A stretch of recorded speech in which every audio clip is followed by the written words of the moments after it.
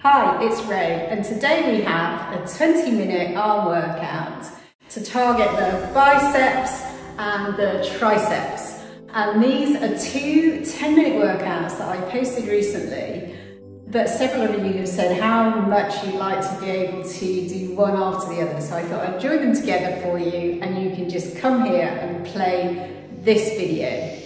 So let's get started. Join me for a sevens biceps burnout. We will do seven reps of three different curl types back to back without resting. So 21 reps in a row in total. I am using three and five kilo dumbbells. You can join me with no weights, bottles of water, one or two pairs of dumbbells, not too heavy because of the high rep range, whatever suits your current ability. You can do this standing, but I like to do seated as it makes it easier to take the pressure off the pelvic floor. It also helps to stop you using momentum to lift the weights. Okay, let us warm up by performing the exercise with no weights. This will get you used to the movement and warm up the muscles. I will talk through some cues for you to use as we are warming up. Sitting with your back upright, shoulders back, keep your elbows tight into your body with your palms facing up. We start with seven reps of bottom bicep curls, focusing on the bottom of the movement, stopping when the elbow is bent to 90 degrees. After seven reps, start at the middle after that last bottom curl, curling to the top, but stopping halfway down, focusing on the top of the movement. Try not to let the upper arm drop below, parallel to the floor. And lastly, seven reps of full bicep curls. We want a full range of motion. Squeeze your biceps at the top and then fully extend the arms down, but don't let the biceps relax. We want to keep constant tension on the biceps. Now we can have a short rest and then grab our first set of weights. I am doing my first set with three kilos. Choose your weight, or you can carry on with just body weight. Remember to breathe throughout. Inhale on the lowering of the weight and exhale on the lift. Let's go. Seven reps of bottom curls from the bottom to halfway up. Extend the arms down, but don't let the biceps relax at the bottom. Don't come up too high. Think about your forearm being parallel to the ground. Straight on to seven reps of top bicep curls, curling to the top, but stopping halfway down. Ideally with the upper arms not dropping below parallel to the floor. And to finish with the seven reps of full bicep curls, we want to keep the tension on throughout the movement. Squeeze your biceps at the top, extend the arms down, but don't let the biceps relax at the top or bottom.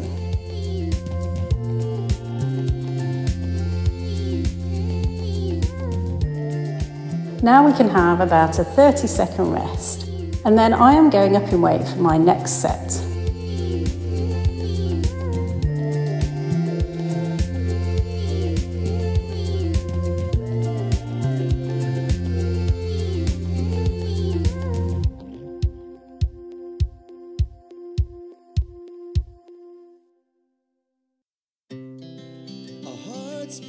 Okay, grab your weights and let's go with our second set. Seven reps of bottom curls from the bottom to halfway up. Extend the arms down, but don't let the biceps relax at the bottom.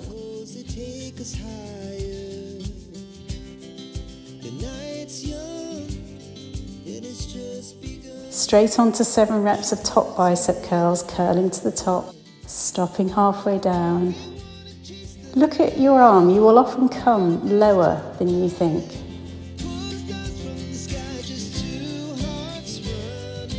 And to finish with the seven reps of full bicep curls, squeeze your biceps at the top. So I breathe in on the way down and out on the way up.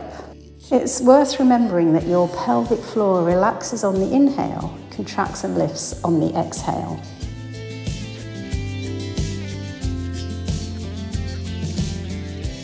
Now we can have about a 30 second rest, have a drink, walk around, shake the arms,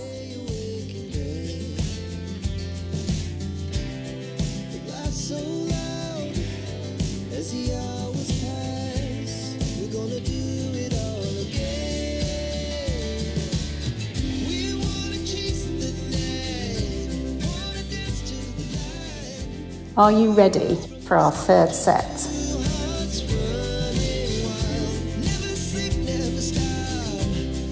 Okay, seven reps of bottom curls from the bottom to halfway up. Remember to breathe. Inhale on the lowering of the weight and exhale on the lift.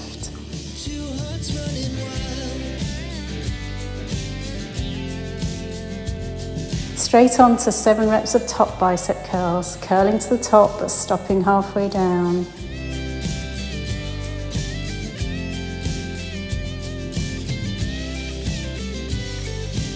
And to finish with the seven reps of full bicep curls, remember your form as it gets tough. Try not to use momentum to lift the weights. If it gets too hard, you can do a drop set and use a lighter weight to finish.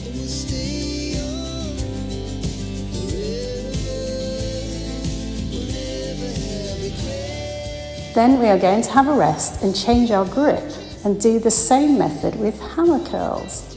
Hammer curls are similar to bicep curls, but are performed with the palms facing each other throughout the movement. I find them slightly harder and you will be tired by now, so take your lightest weight. Okay, ready? This time, hold the dumbbells at your sides with your palms facing each other I angle my dumbbells slightly away from my body as I find it kinder to my elbows. Seven reps of bottom hammer curls from the bottom to halfway up. Extend the arms down, but don't let the biceps relax at the bottom.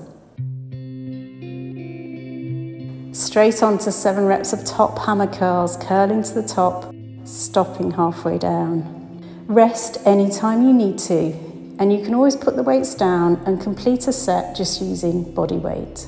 And to finish with the seven reps of full hammer curls, same form as before, squeeze your biceps at the top and don't let them rest at the top or bottom. Unlike my beginner's workout videos, in today's workout, I train as I would normally, so you will see the intensity I train with. Okay, about a 30 second rest before the second set of hammer curls. If you feel the weight was too light last time, go up. I am going up in weight, but if you found it hard last time, keep to the same weight.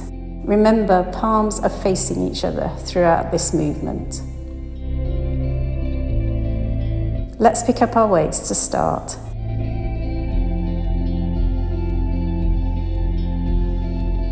Seven reps of bottom hammer curls from the bottom to halfway up.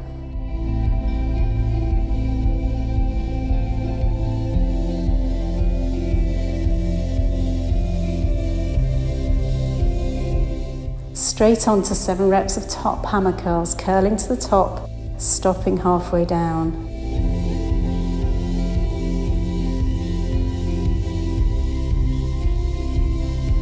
And to finish with the seven reps of full hammer curls, same form as before, squeeze your biceps at the top, don't let them rest. You can see I am close to failure, trying to not to use momentum to lift the weights. Okay, a 30 second rest, and then our third and last set of hammer curls.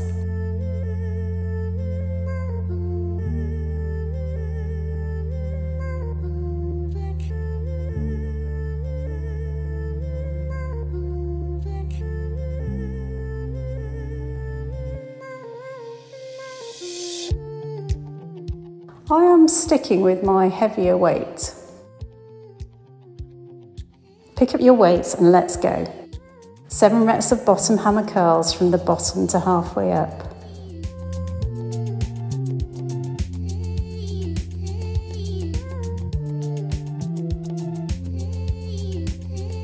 Straight on to seven reps of top hammer curls, curling to the top, stopping halfway down.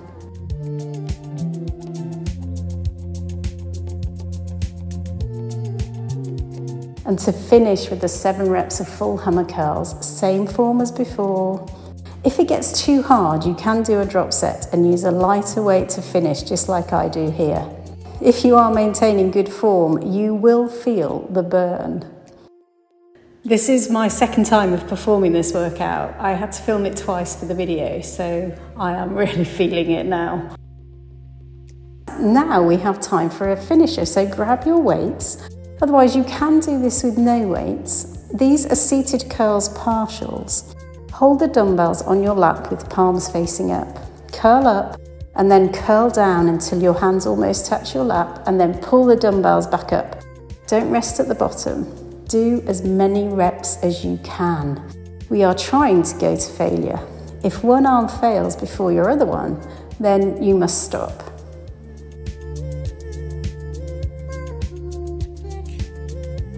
Okay, now we can have about a 30 second rest.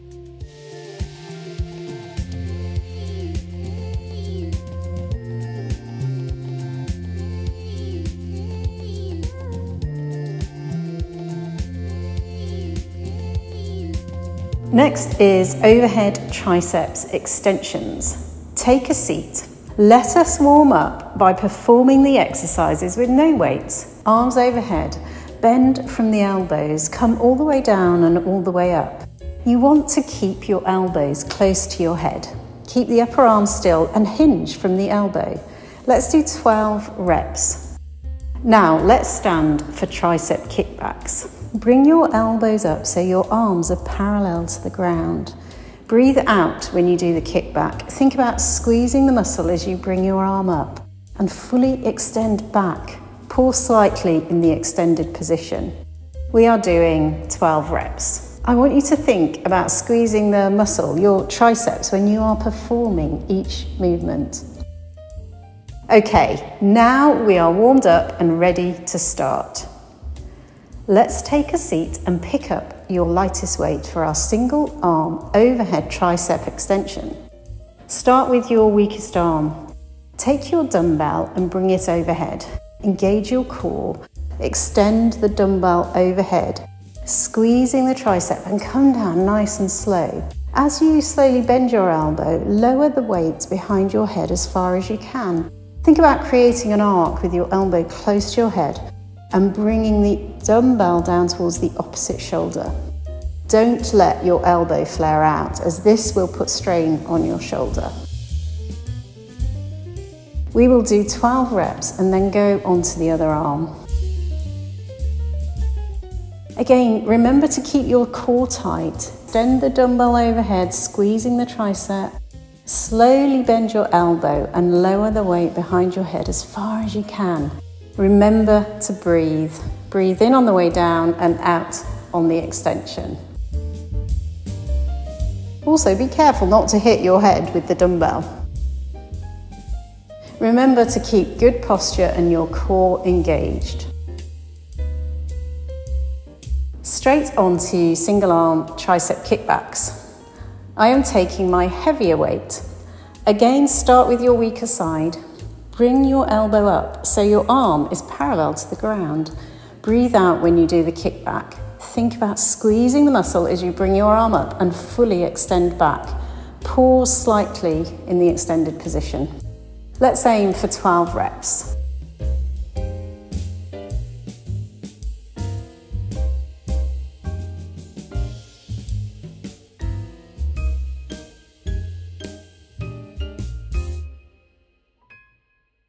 Now for the other side.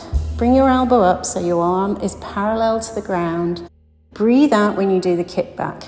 Do 12 reps or however many you managed on the first side. By leaning over like this, we can get our arm up to parallel a lot easier than if we stand more upright. You can rest your other hand on your knee like I do, or your chair for support.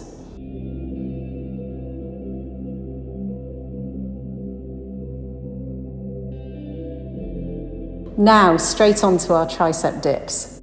Using your chair or bench, keep tall posture, hands underneath your shoulder, shoulder blades away from the ears, and keep your chin tucked. Lower yourself down, bending at the elbows. Your elbows should be pointed back. Make sure you keep your hips close to the chair. If you go too far out, you'll put strain on the shoulders. We will start with the feet close to us, but you can make this harder by taking your feet out further. Try it and you will see what I mean. If your triceps are fairly weak, start with small dips. Okay, now we can leave about a 30 second rest and then I am going up in weight for my next set.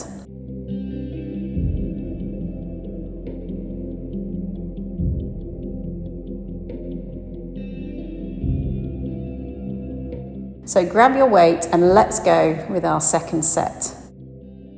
Don't forget to start with your weakest arm. Take your dumbbell overhead, core engaged, extend the dumbbell overhead, squeeze the tricep, keep your elbow close to your head, bring the dumbbell down towards the opposite shoulder. Don't let your elbow flare out. Remember to keep good posture and breathe throughout.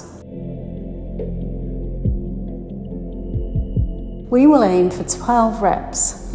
Now I can only do nine at this weight, so I drop to my lower weight to finish my set. Do the same if you need to, or even finish with just body weight.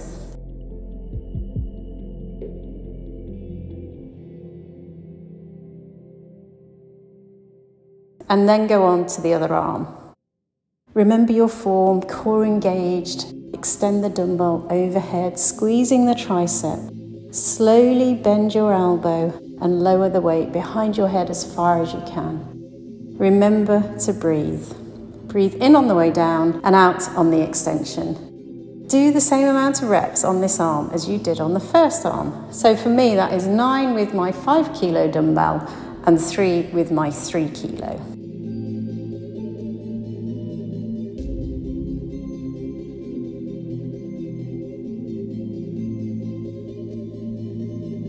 Straight on to our single arm tricep kickbacks. Again, start with your weaker side. Bring your elbow up so your arm is parallel to the ground. Think about squeezing the muscle as you fully extend back. Pause slightly in the extended position. Breathe out when you do the kickback. Let's aim for 12 reps.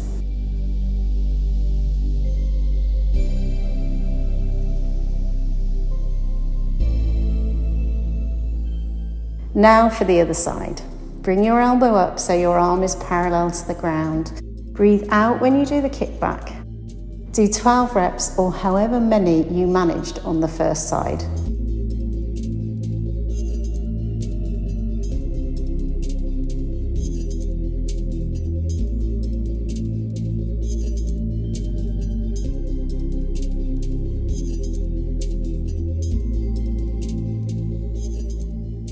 Now, straight onto our tricep dips. Remember tall posture, hands underneath your shoulders, shoulder blades away from the ears. Lower yourself down, bending at the elbows, elbows pointed back. Keep your hips close to the chair. You can feel like you are scraping against the edge of the chair to know you are in the right position. I take my feet out further to start with, but have to bring them in closer as I am finding my triceps are getting tired now. Tricep dips are very effective. They use a full range of movement, but if you are a beginner and lacking range, don't go so far down. Focus on the press up rather than how far down you can go. Now, we can have about a 30 second rest and then I take my heavier weight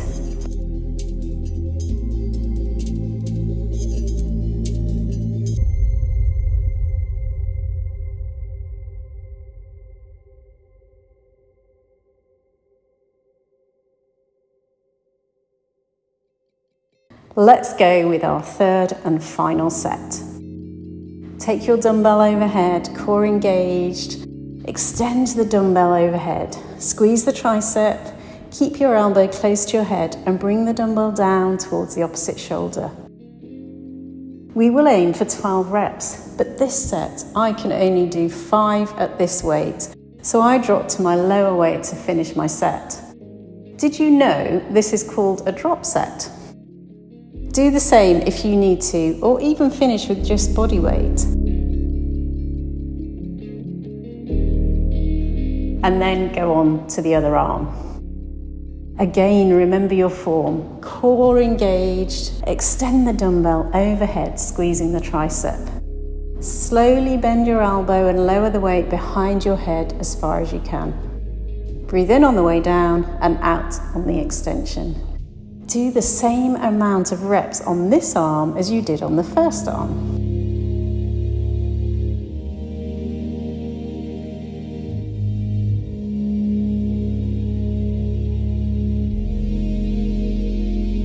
Straight onto our single arm tricep kickbacks. Again, start with your weaker side.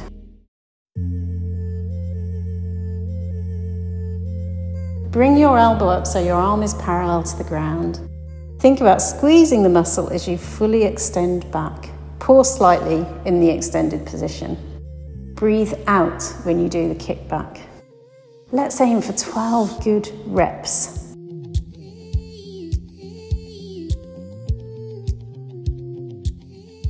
Now for the other side. Bring your elbow up so your arm is parallel to the ground. Breathe out when you do the kickback. Do 12 reps or however many you managed on the first side.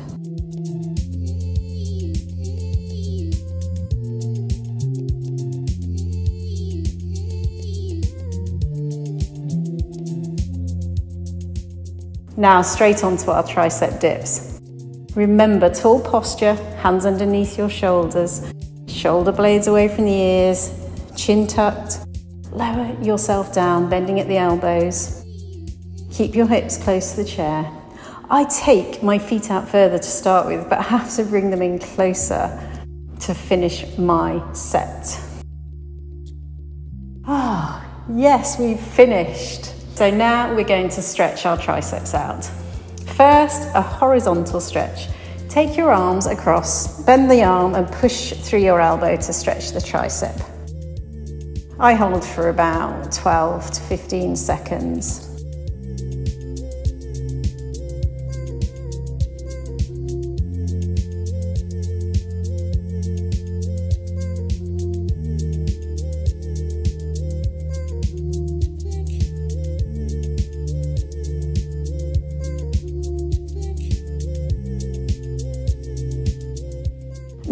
Overhead tricep stretch. Just by bending the elbow, we stretch the tricep out. But here, let's take our arm back as far as we can. Keep your torso straight, don't bend to the side.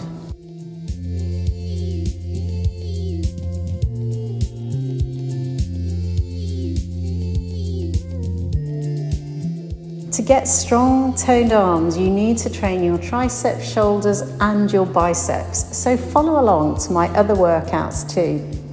I do hope you enjoyed the workout. Let me know in the comments below. And until next time, keep living yourself young.